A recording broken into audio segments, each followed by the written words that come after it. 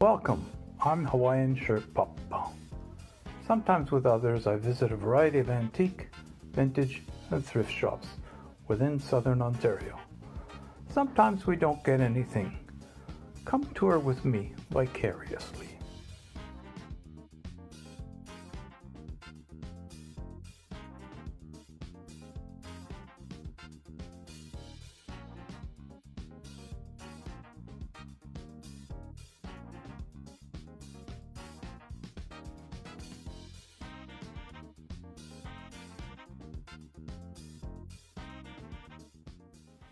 Hi, join the Hawaiian Shirt Pappa on a tour of the Value Village in St. Catharines. This is the one, if there's more than one, that's closer to the QE at the western end.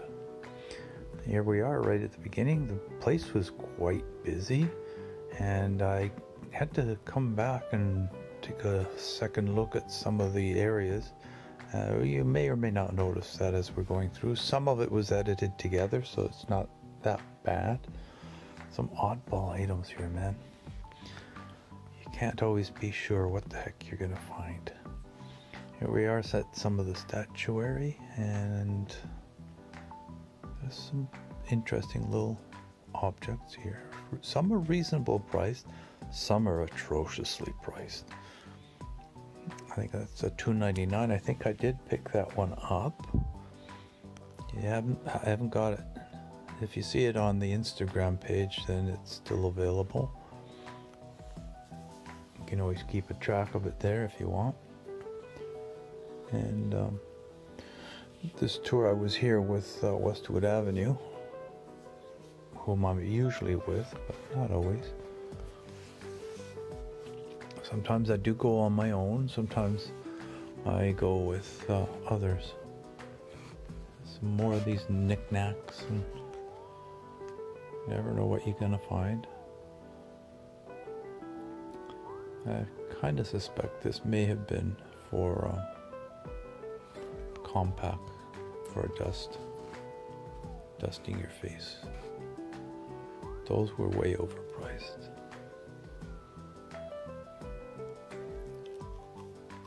I showed you the price was $6.99 there. And these are vases. So glass ones, ceramic, plus resin, all kinds. All kinds are in here.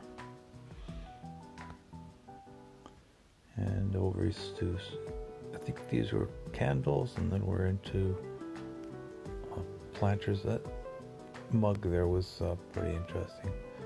So it was a blue glass ball. It stayed there if I remember right. Yeah. Magpie eye catches some things that are kind of bright and shiny.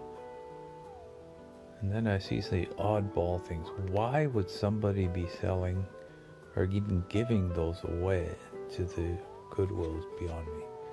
Yes, they've got a book section, then they got all these women's clothes of all sorts. and I mean a lot of them. And then you got the drapes and sheets and knickknacks at the back. The knickknacks being, in this case, probably sewing goods. And they had children's clothing. The toys are at the far end, far back of the store. Now we're back at the front. And we're looking at the so-called higher value items. These are the jewelry showcases. Probably some of them are apparently high value, according to their so-called uh, appraiser. Ah, yes, the first look at shirts. And here you'll notice that it's. Oh, I lost that one there. It was 9.49 in any case. I thought it was overpriced. I found the uh, some Hawaiian shirts in a different location as I as I'm reviewing the video. Yes, they have shoes. And yeah, oh yeah, that's what it was. They they were in two different rocks. He started on one and he finished on another. There's a Hawaiian shirt. Here we go. Nine ninety nine. For change is a reasonable price. I don't remember what the brand is offhand. I usually look for ones that are made in Hawaii. There are other brands that are made. Here's Hunt Club. That's. Do they just make a lot of shirts? If, if I remember right, they're Sears brand originally. And then they've got some more the more smaller size prints in there as well. Hawaiians might use them for more like uh, uh, business suits. Fourteen fifty. Twelve dollars. Come on, folks. These are these have already been paid for by somebody. There's no particular reason they have to charge these kind of prices for them. In any case, it's uh, it is what it is. If somebody's looking to just pick up one and uh, use it for themselves, hey, all the more power to you. I'm not going to stop you. I'm not going to chastise you for going here. But still, I, up, up until recently, they're like seven, eight dollars. Other stores are still at uh, seven dollars or so. There's one for ten. Looks a little more authentic to me. Uh, looks are one thing, labels are the other. Uh, I usually prefer to get them in cotton. Mm-hmm. I have obtained some in silk, but apparently the most rare are the rayon ones that were made between 1945 and 1955. Apparently they are really rare. They wear like like steel. This is a looks like a pattern one of our friends has uh, collect collects. She has them in silver and in a gold tone. Don't remember that brand. Uh, it must not have been much of a a ceramic brand. Not one of the higher end ones in any case. So here we are still taking oh gold edged on this on the uh, glass. I don't think it was anything of better value, so it stayed behind. Somebody else can enjoy it. Kitchen items, uh, larger serving items, cake platter, cake stand, really. There's all kinds of things people buy, people finally give them away at some point. It may be uh, many decades in between those two auctions, but uh, cut out one. It's a nice looking piece. Not into ceramics generally. There's a few very specific ones we sometimes will pick up. Uh, yes, barbecue tools and other cooking tools. Here we've got a set of four white glass indented for cup platters. So they would have been for a lunch set. They were $13 for the set of four. And it's coming up here so that you can also see that it is. There's the indent for the cup. There was another platter there for seven, $6. But there's four of these at $13 for the four of them. Um, generally, we don't do the white glass, but it's always good to take a look. Sometimes, if it's a good enough deal, yeah, we might pick it up. But the issue is if we're trying to sell it online, it's, it's so difficult to ship the glass. It'd have to be a direct pickup by someone. here we are. We're just still snooping along. Oh, oh yeah, the hibiscus. That's not the uh, pattern that we have a collection of. And into the stemware.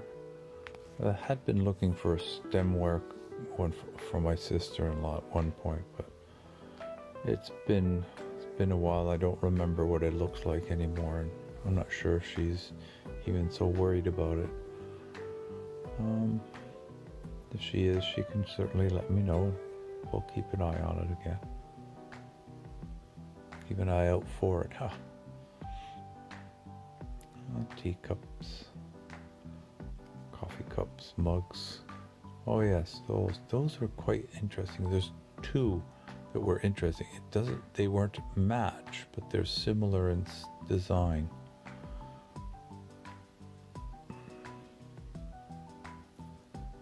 Yeah.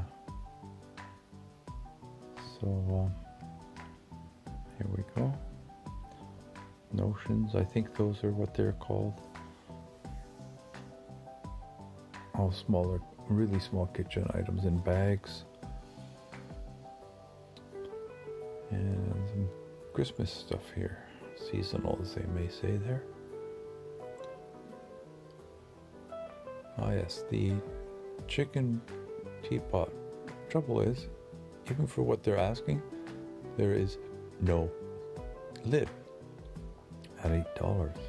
I think they're crazy myself, but that's me. Sorry about spinning you around there so much, but I was trying to avoid people. And cute little items. Uh, you can make small, small personal size portions in those. What was this? Oh, yeah, it's a fry pan, cast iron fry pan. For a change, it wasn't ten dollars. It had dropped down a little bit. Neither of these is particularly of higher value. Yeah, you can use them on um, induction top cookers or gas. They're great for either one. Uh, the what I like is the really old ones. They actually machine the interior a lot smoother than what the new ones do. Ah yes, the maps on a bottle.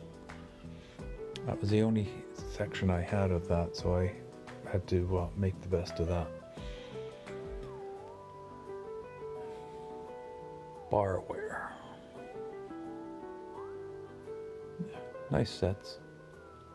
It's often they're missing one, which uh, kind of makes it useless.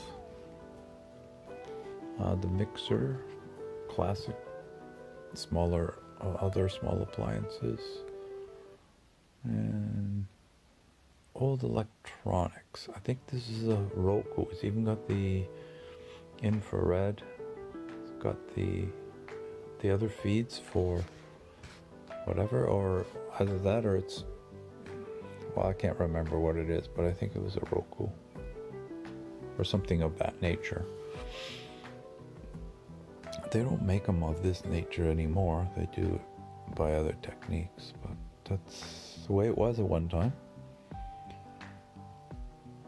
I thought it was a hard drive case originally, so that's why I was looking at it. But when I saw the HDMI and network cables, I said, hmm, guess not. And uh, mixer, if I remember right.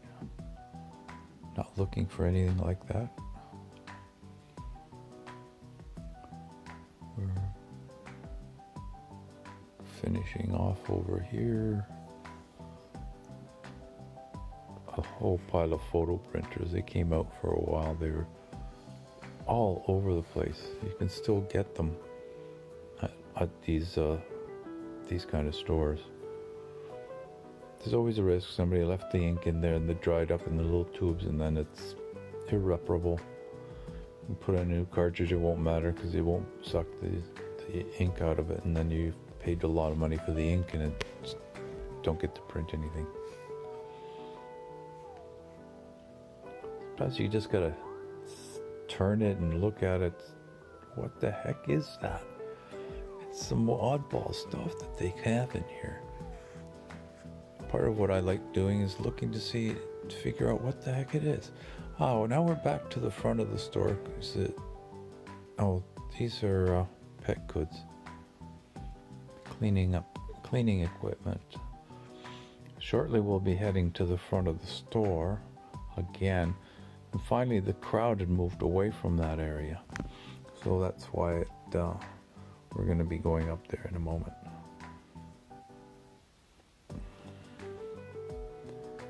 And here we are. There's an aisle between the where I was and where the main aisle is, and it's got the sporting goods in it.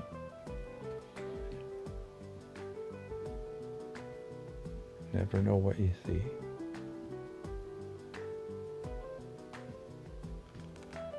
Other side, we were on the other side of this this stand, uh, rack, whatever you want to call it. And at the end here, we're going to be going to see one piece of artwork. And it took a little bit to look at it and realize it was actually a print. Oddball things, man. A stool that looks like that. There's the entrance. Ah, level without one of the files really useful. And some power tools with dead batteries as usual. Here's this one. Took a, lo- a little more effort to look at it and realize that it was a print. Um, a nice frame, regardless of what the image is in the middle. Anyway, thanks. Hope